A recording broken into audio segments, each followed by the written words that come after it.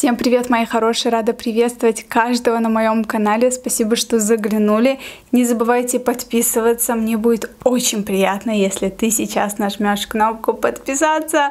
Мне так нравится поляна, которая получилась сегодня. Вроде я особо, знаете, такой задумки не было, но по мне получилось очень интересно. И здесь у меня вот такой напиток. В общем, пицца здесь, мои любимые брокколи –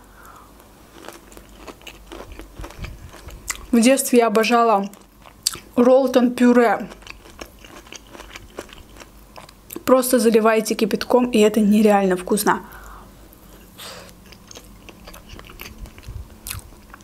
Йогурт, огромная пицца, вот такой вот кусочек. И давайте приступим.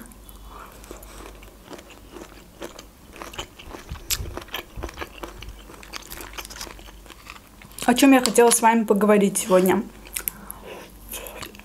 про моих соседей. Я когда сегодня утром шла за продуктами в супермаркете, наткнулась на девушку с тремя детьми. Она была русская, прям видно было по ней это. Говорила с детьми тоже на русском языке. Трое детей погодки. Самая маленькая в коляске девочка. И два мальчика. Один из мальчиков на кассе решил взять сникерс.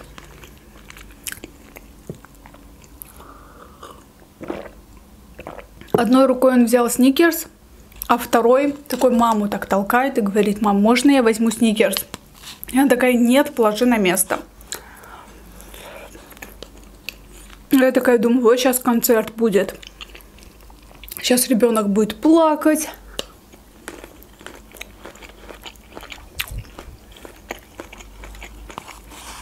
Орать, визжать. Что нет, мама, купи. Нет, мама, я хочу. Ну, вы знаете, Ничего подобного. Ребенок просто положил обратно этот сникерс и подошел к своей маме.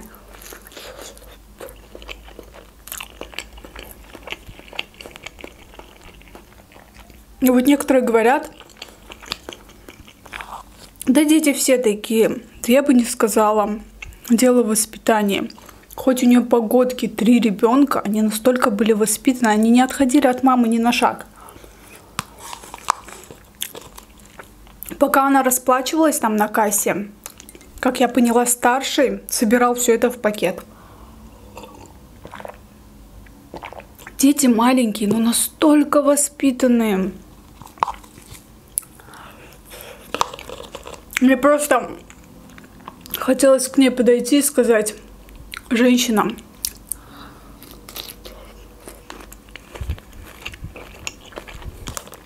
расскажите секрет. Как воспитать таких детей? В общем, взяла она один из самых тяжелых пакетов, несколько пакетов взяли дети. Ухоженные, одетые, разодетые. Вот это мать. Вчера я поругалась со своими соседями сверху.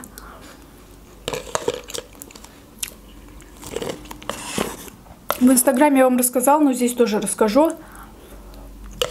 В общем, я лежу, и это не первый раз. Вот просто такое ощущение, как будто кто-то залазит на стол и прыгает со, со стола, не со стула, со стола, со всей дури.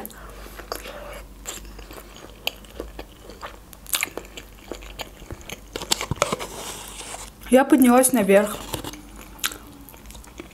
предъявить соседке. Все село.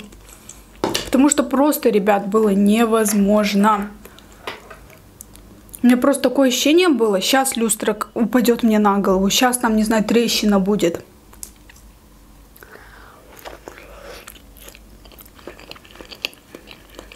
Я поднялась, увидела дома у этой девушки где-то 7 детей. Таких где-то, знаете, 9-8 лет. Дети вообще неуправляемые. Мы, например, ругаемся с моей соседкой. Один ребенок пытается влезть в этот разговор, то есть выйти в подъезд в этот момент.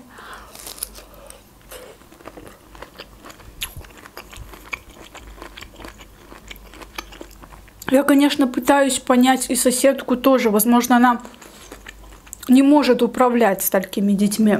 Но в то же время нужно понять и меня, человека, который живет снизу. Я ей объясняю, она мне говорит, будут у тебя дети, ты поймешь. Я говорю, давайте ради эксперимента спустимся вниз на этаж ниже, посидим, попьем чай полчаса и просто послушаем на вот эти вот звуки. Я говорю, если вы хотите орать, пожалуйста, я вам разрешаю. Единственное, что мне не нравится, это когда ваши дети залазят на стол и прыгают со стола или со стула. И в такой звук, знаете, бух. И у меня люстра вот так.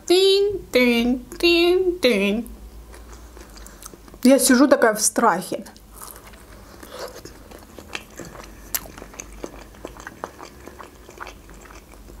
Вроде как мы чуть не поругались с ней. Я спустилась вниз, я ей сказала, еще пару раз мне придется сказать коменданту.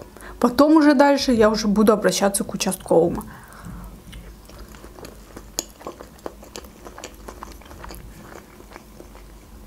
Не знаю, кого винить.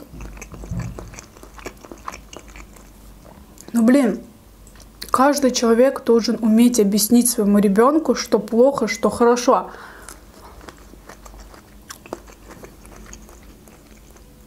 Никто не виноват, что вы, например, родили, например, пять детей, к примеру, да? Если вы родили,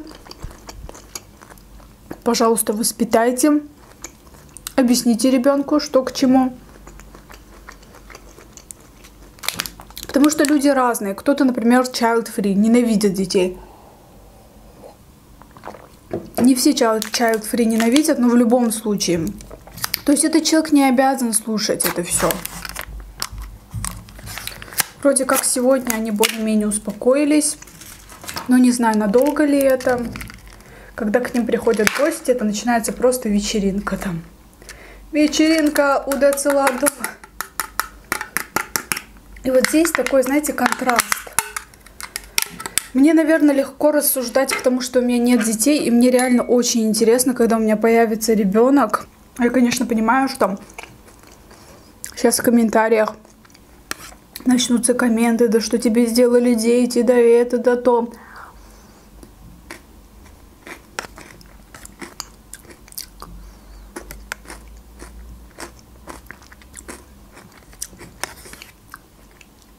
Возможно, вы подумали, что я ненавистница детей.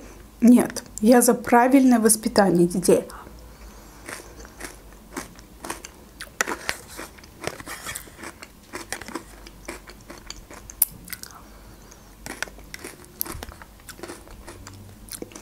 Кого-то из родителей обязательно дети должны бояться и уважать.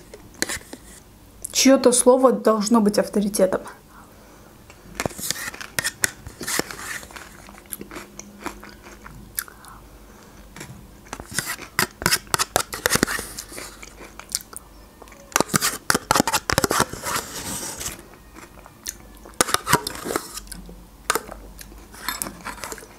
Все. Сейчас ребенок, например, сверху плачет. Я ничего против этого не имею. Плачет, я понимаю. Но просто не надо залазить на шкаф и со шкафа прыгать вниз. Единственное мое требование.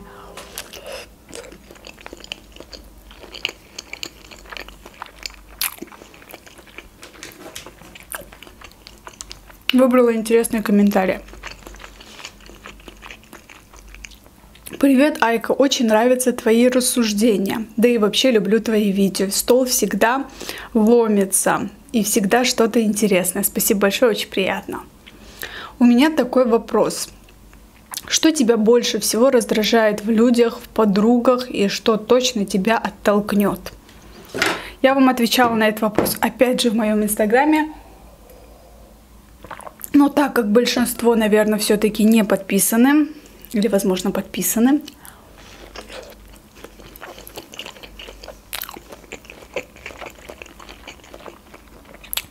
мне не нравится вранье. И прям явное вранье. Когда человек слишком много врет, это меня очень сильно раздражает. Я не могу общаться с людьми, которые через каждое слово врут. У меня была одна группница, точнее это был поток, и, в общем, эта девушка рассказывала всем, что ей ее парень уже подарил второй браслет от Cartier. Честно, у меня нету никакой зависти. То есть я очень рада за нее, если это на самом деле так. Но она рассказала про это. Прошел месяц, второй, третий, четвертый. Ни разу эти браслеты на ее руке я не видела. Потом как-то мы с девчонками начали подозревать, что, скорее всего, она все это придумывает нам, дабы показать, что за ней так ухаживают, дарят дорогие подарки.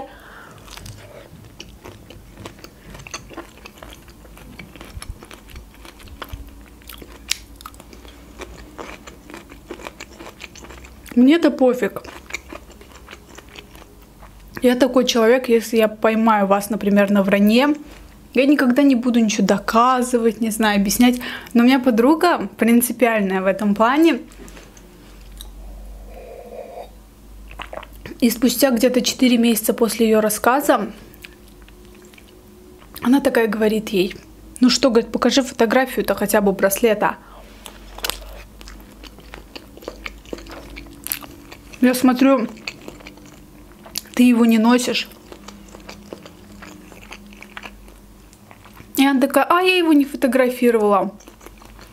Могу дома сфотографировать и кинуть вам.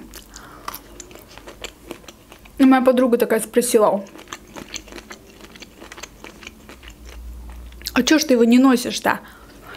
Она такая, я боюсь, боюсь потерять. Только на важные мероприятия надеваю.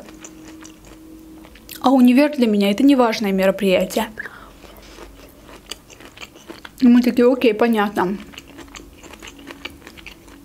И, в общем, она сказала, что домой приду, сфоткаю покажу. А у нас в WhatsApp был такой общий чат со всеми одногруппницами. Там и поток, и наши, но те, кто только по-русски говорят. Те, кто по-русски не знают, их не было там. Ну, в общем, проходит 2-3 дня, опять нету фотографии.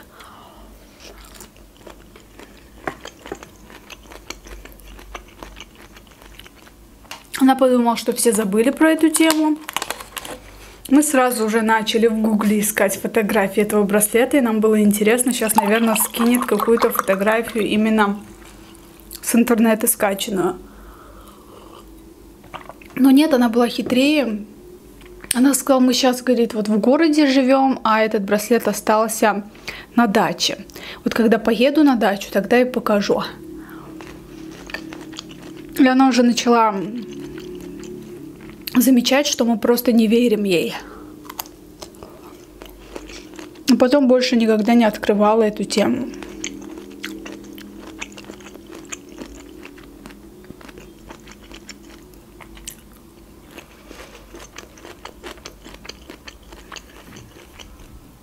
говорила, что ее парень там подарил ей 101 розу, там, не знаю, еще что-то.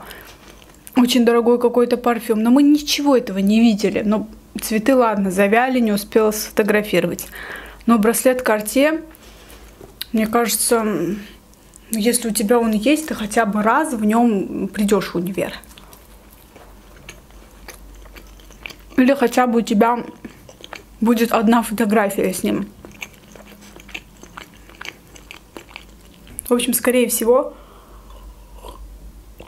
Она просто придумывала это все.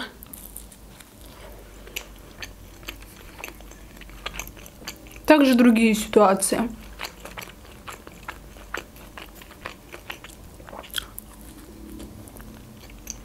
Или, например, моя одноклассница в школе. В первом классе у нас были цветные раскладушки, там телефоны и так далее. А у нее был не цветной телефон. И она всем доказывала, что у нее есть Bluetooth. В фонарике есть Bluetooth. Но ее как бы я не осуждаю.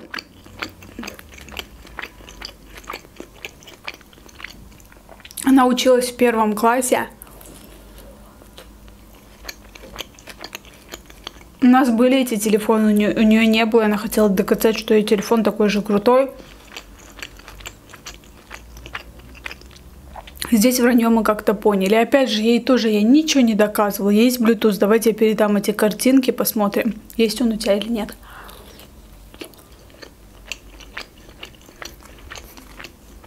Мне как-то странно, когда врут взрослые люди, уже далеко не дети, какие-то такие вещи, которые, вы знаете, иногда бывает вранье во благо. Например, ты не сделал домашнее задание, а учительнице говоришь, что ты просто забыл тетрадку дома. Вот это вранье во благо.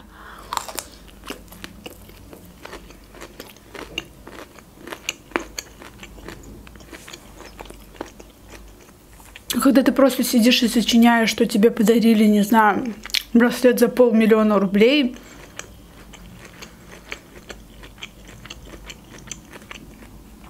дабы вызвать зависть во всех других одноклассницах, у которых даже в мыслях нету, что когда-нибудь им подарят этот браслет.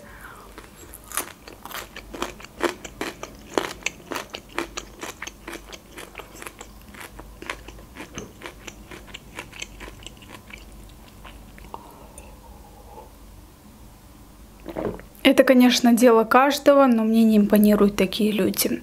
В общем, я поела, наелась. Спасибо, что досмотрели это видео до конца. Если вам не сложно, то обязательно подписывайтесь. Каждая ваша подписка для меня это мотиватор двигаться дальше, работать еще больше. Всех люблю.